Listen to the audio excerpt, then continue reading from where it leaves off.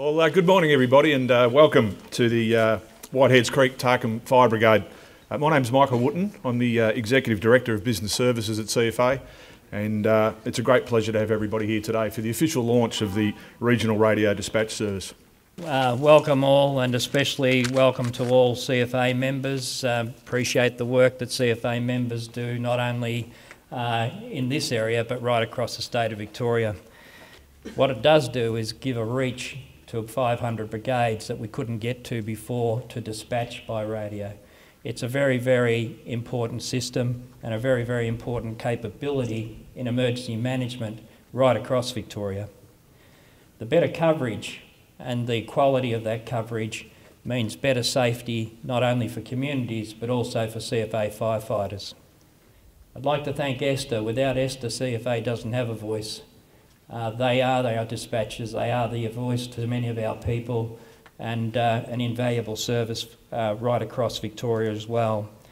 Um, it's great to be here today in District 12, the first regional CFA district to transition to RRDS. And since uh, Mick uh, probably covered most of my notes, and I, I, I promise that I, I, won't be telling stories, but I'll, I'll, have to.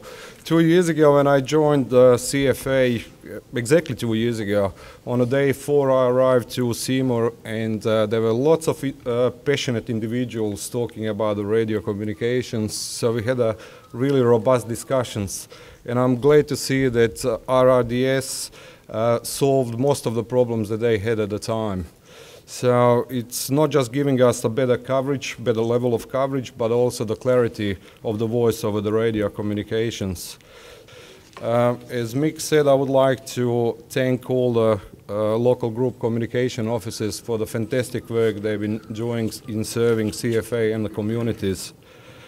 Uh, RRDS is now operational in, in six uh, regional CFA districts with a reminder to follow throughout June and July. Ladies and gentlemen, it's a wonderful pleasure for me to be here this morning and for my colleagues from Telstra and also our business partner Motorola. And let me begin my remarks by thanking the CFA very much for the invitation to join you this morning at this very important event. We, as you have heard at Telstra and Motorola, have had the great honour of working with the CFA in building this wonderful and very important new network. And this radio dispatch network, of course, is a commitment by all of us, I think, to support public safety and emergency services. Of course, particularly in those times when safety and security is paramount at those very important and critical times, such as bushfires.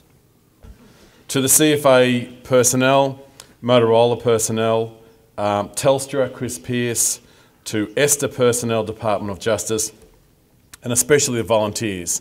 Thank you for giving up your time to be here and thank you for keeping the community safe. You have the admiration of the entire state behind you. Today we launch a world-class communication system for the CFA regional brigades and it's about time.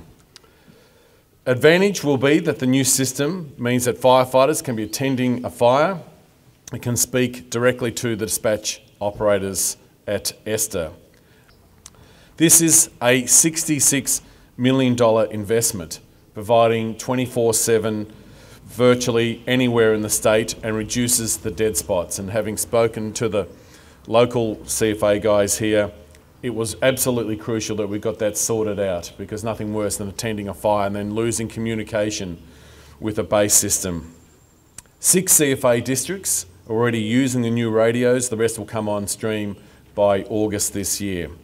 And the feedback that we've had so far is that the radio sound is perfect and it also means those dead spots are being addressed congratulations and officially launch this brand new communication systems. Well done, congratulations.